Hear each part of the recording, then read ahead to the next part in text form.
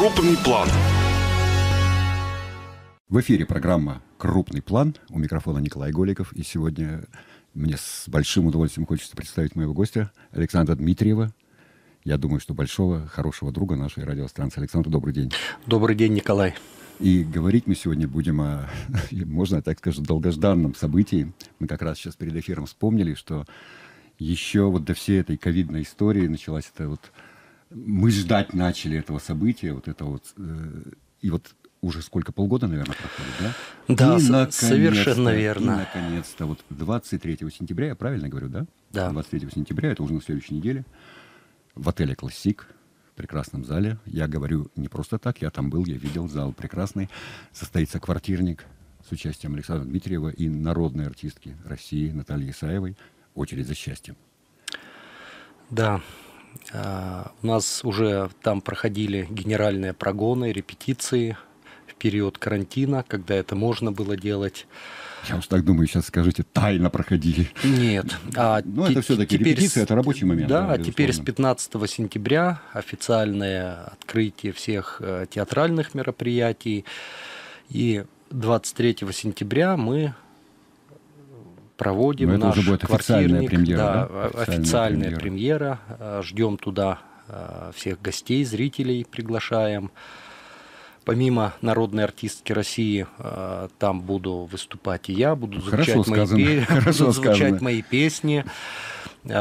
Скрипка у нас Марат Девятьяров, клавишная Сергей Быданцев и вторая гитара мой друг Андрей Шамриков. У вас такой звездный состав довольно-таки. Как сработались все вместе? Все-таки вот э, скажу честно, да, вот мы с вами не первый раз в эфире, вот я слышал вот и ваши песни, и все, но когда вот я первый раз увидел информацию о том, что вы готовите с Натальей Николаевной вот этот вот это ну, концерт или как это вот правильно, спектакль. спектакль это все-таки больше, спектакль, да. это спектакль, скорее всего. В нем есть определенный такой сюжет, есть линия такая лирическая, все. Вот когда я первый раз слышал, что вы готовите это вместе, я немножко удивился, да, вот э, как, откуда это взялось, кому на ум пришло? Ну, для меня большая честь и ответственность э, работать э, с Натальей Исаевой.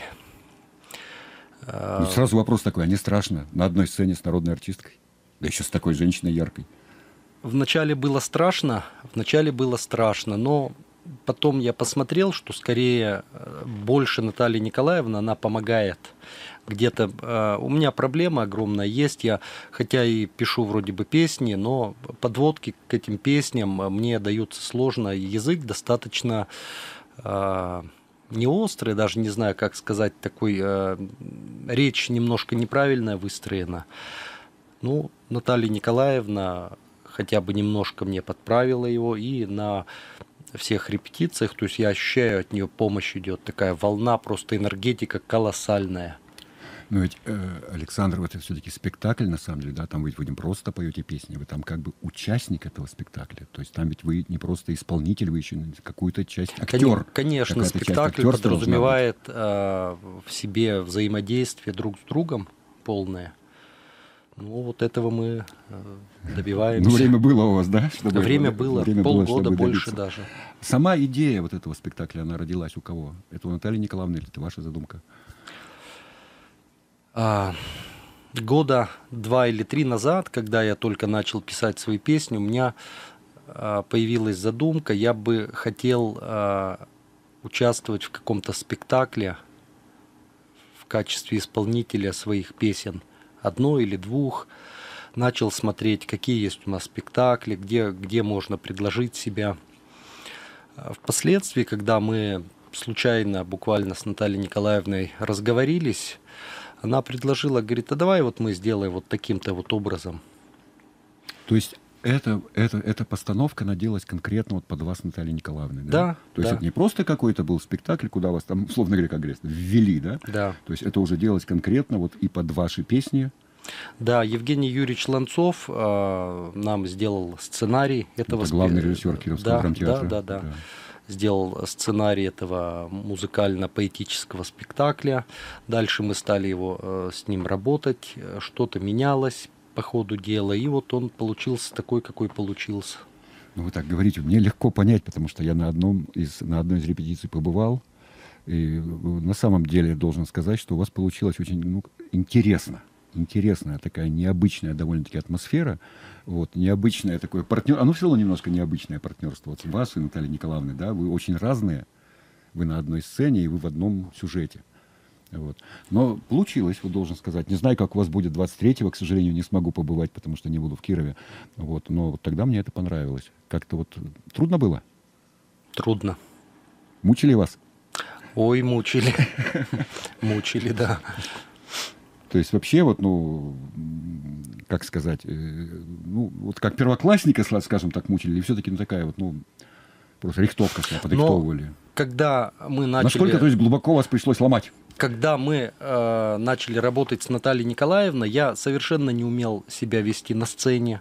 Я не знал, как, как какой рукой, извините, микрофон держать, э, как стоять, как сидеть там, как гитару брать. Я, естественно, она мне все это с, с нуля научила, показала. Я просто видел у вас в социальной сети как раз фрагмент репетиции. Э, вы выходите с гитарой, там, берете, поете, значит, Наталья Николаевна в зале, и сначала она просто слушает вас, потом через какое-то время, смотрю, она уже вас не слушает, она уже вся машет руками, она вам что-то безумно показывает. И самое интересное, что там песня длится две минуты, и к концу уже второй минуты где-то я смотрю, Александр Александрович у нас уже какой-то живой стоит. То есть вот так вот, видимо, да?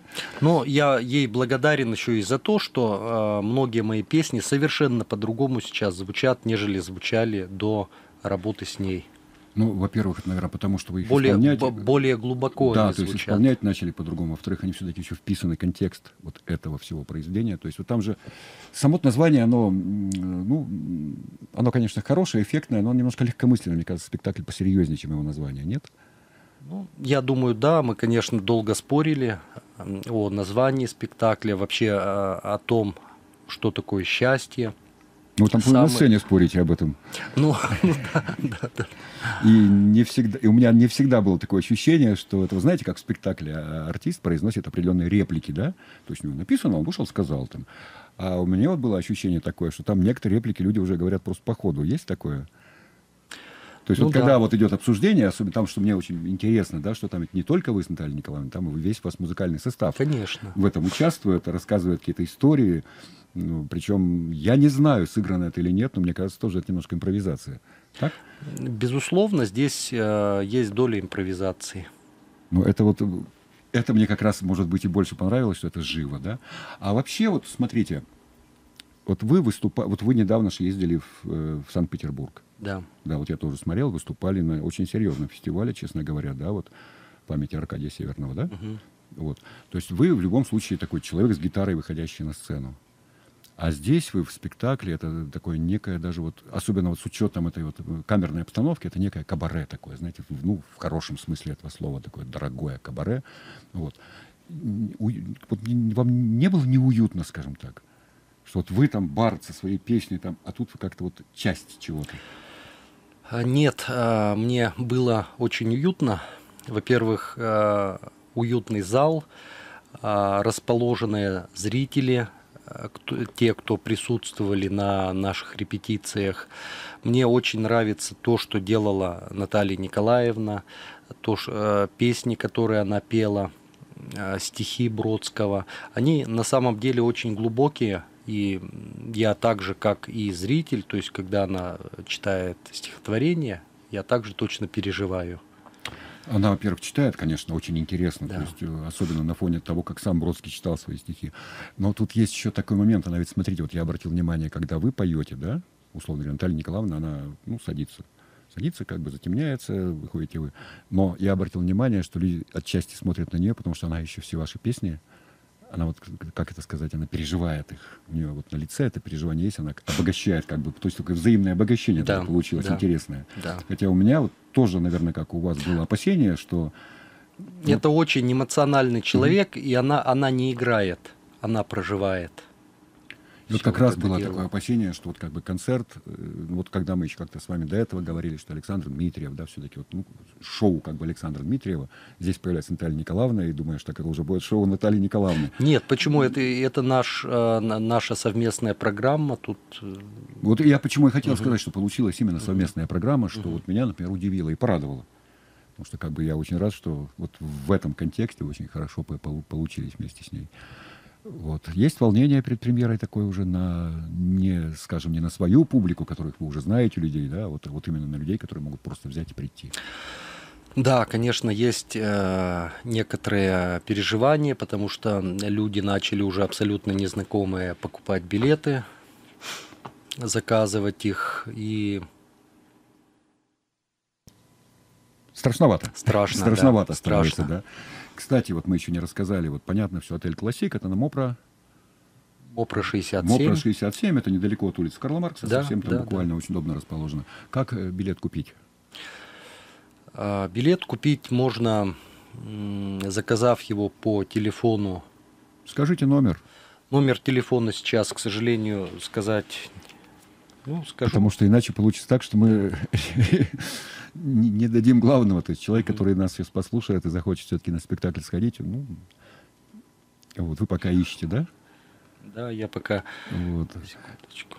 Вот. Я просто пока расскажу, что да, я был на вот э, таком на прогоне этого концерта. И, честно говоря, вот, ну, знаешь, бывает так, что приходишь, э, уходишь, потом ощущение такое, что ты чего-то не получил. Здесь у меня было ощущение такое, что я получил больше, чем ждал. Во-первых, потому что я, конечно, не знал всего, что там, ну, задумано, там частично, может быть, где-то видел в социальных сетях или что-то еще. И не ожидал, что получится вот так все это цельно. Мгм. Получилось очень цельное представление. Оно длится буквально где-то часа полтора, наверное, да, вот так вот. Ну, оно, в принципе, длится где-то 1 час 10 минут. Ну, Плюс, э, плюс у нас фуршет. Он до начала. Он и до начала, и И после, после начала. да. И, кстати, это входит в стоимость билета. Да. То есть фуршет, мне это тоже, кстати, мне эта идея тоже понравилась, потому что во время фуршета удалось Стоимость билета у нас 700, 700 рублей. рублей. Билеты вы можете заказать с бесплатной доставкой по городу по телефону 8 922 914 40 43. 8 922 914 40 43. Вот. Теперь уже стало понятно, что можно позвонить по этому номеру телефона, и билеты с доставкой по городу. То есть их еще и привезут. Я правильно понял, да? Да. Вот. Это все 23-го. Билеты еще есть пока? Пока есть То есть мы билеты. так это говорим, иногда бывает, Ну что да. говорим, там покупаете билет, потом люди звонят, говорят, а, собственно, их уже нет. Ну, что-то вот э, второй день они продаются очень Мгм. так То пошло есть второй день активно. продажу да, идет, да, да? да, да. Хорошо, потому что вот тоже я прочитал, что сейчас еще люди как бы, ну, из этой вот, если так можно сказать, из коронавируса, из спячки еще не вышли немножко, да, уже привыкли проводить вечера дома, потому что везде все закрыто было. Ну, У нас соблюдаются все меры предосторожности. Людям предлагаются маски на входе, а, есть гель а, для антибактерицидный, есть э, возможность вымыть руки. То есть все вот эти требования Да, соблюдаются, да, то есть да. опасности как бы нет, Конечно, да? да. То есть все там приспособлено для того, Да, чтобы человек конечно, спокойно и да, безопасно да, да, да. Есть ли какое-то возрастное ограничение на этот спектакль? Возрастное ограничение 18 плюс. 18 плюс? Да. Я начал мучительно думать, что ж там такое 18 плюс. По-моему, Честно говоря, а, с некоторой долей перестраховки думал я, что сделать 16 плюс или 18 плюс, но а, есть описание сцен времен Второй мировой войны, оккупации, а, расстрелы евреев. Это все описывается. То есть как бы возможно, из-за во, этого, во- да. во избежание, Да, во- да, во того, избежание чтобы проблем каких-то. слишком эмоцию привести на молодых людей. То есть 18 плюс, но опять же надо сказать, что такого рода ограничения, если человек там ему 16 лет, он приходит например, с- родителями, это уже на усмотрение его Ну родителей, да, то есть он да, может да. прийти вместе с ними. И тем более, что вот если так вот отбросить вот эти моменты, о которых вы сказали, то спектакль на самом деле очень светлый. Там есть вот эти моменты такие кульминационные немножко. И вот тоже вот интересно, вот спектакль о счастье, да? Спектакль о счастье. Там начинается с такой, ну, советской песни, там, очередь за счастьем, там, да, вот там весело. В конце тоже все так довольно весело, и публика это подпевает. Все такая она Да. довольно легкомысленная, скажем так, песня. И в то же время вот эти темы, как вы не побоялись, там вот вы говорите о войне, там, о расстрелах в гетто в еврейском и так далее, не побоялись, как они вот в это все войдут?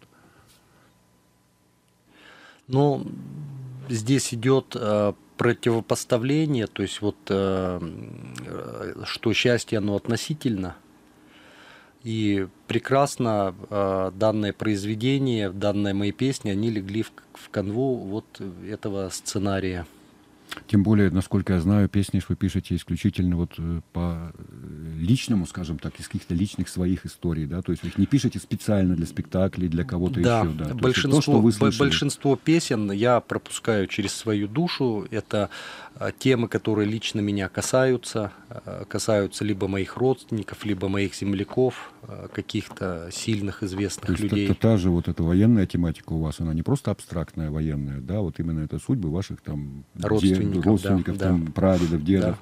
Вот, то есть и вот э, вписать вот такого рода вещь э, в такой сценарий, скажем так, легкий, это, конечно, трудно очень было. Но получилось. Я думаю, что те люди, которые придут, они тоже оценят. Это заслуга уже чистой воды Евгения Юрьевича Ланцова. Ну, То есть он смог вот состыковать те произведения, которые а, мы с Натальей Николаевной выбрали и решили их э, каким-то образом связать. Вот вы покажете 23 числа этот, эту постановку, покажете дальше у себя. Есть ли какая-то мысль показать ее еще где-то? Еще раз, еще. Были у вас такие разговоры? То есть те, кто не сможет ее посмотреть 23 числа, будет ли у них шанс, что это когда-то будет повторено снова? Да, пе- периодически по заявкам а, зрителей, слушателей мы будем проводить этот квартирник. Формат его подразумевается а, в зале в небольшом. Это как раз вот, э, Ну, вот зал как раз подходит, да, Классик, вот да. Я посмотрел, очень уютный зал. Очень, очень уютный, очень близкий к сцене. То есть Да, там как бы да, вот да. это все видно очень хорошо, все, что Да. происходит. А, бли- а ближайший мой сольный концерт будет э, проходить в УДНТ 24 октября. А в продаже билеты будут э, после 15 сентября появятся. То есть это уже вот чисто ваш Там будут концерт, звучать да? только мои песни. А Коллектив музыкантов у нас э, устоявшийся, уже один и тот же. То есть такой большой ваш Да, авторский да, концерт. Да, да, да. Вот как бывает. Интересно. К сожалению, Наталья Николаевна сейчас э, очень занята Ну, подготовкой да, к спектаклям, сезон, репети- уже, да. репетиции, премьеры. А, Приходится самому что-то думать, выдумывать. Вот видите, вот привыкли уже с народными-то артистами работать. Получается очень интересно, что у вас прямо вот за этим таким небольшим камерным как бы, да, вот спектаклем идет большой концерт на весь зал, то есть такой контраст очень сильный. Да, конечно, вот э, семь песен в квартирнике, Да. очередь за счастьем.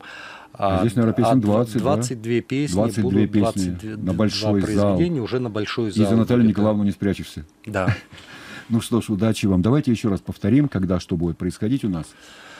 А, а, Музыкально-поэтический спектакль «Очередь за счастьем» будет проходить э, 23 сентября в отеле «Классик» с 18 часов 45 минут, Ну, сразу поясню, что 18.45 начинается не сам спектакль, а фуршет. небольшой такой, очень уютный фуршетик, да. И потом уже Ну, вам понравилось? Там Мне, уютно мне, было. мне да. понравилось в фуршете и до, и после, и во время тоже. Да, и во время я даже. там не был, я смотрел спектакль, мне понравилось очень. Значит, начинается в 7 часов. Э, Билеты можно купить, позвонив по телефону. Скажите еще раз этот номер, если он у вас недалеко. Да, у меня этот э, номер рядышком. 8 922 914 40 43. 8 922 914 40 43. То есть надо позвонить по телефону, и билет будет доставлен. Билет будет доставлен, В черте да. города Да, бесплатно. да, да. Ну что я могу сказать, Александр? Удачи. Удачи. Очень желаю вам большой удачи, потому что я думаю, что... Я надеюсь, что я не ошибся. Этот спектакль прекрасный. Огромное спасибо, Николай. Ну, всего доброго. Всего. Возрастное ограничение концертов 18+. Крупный план.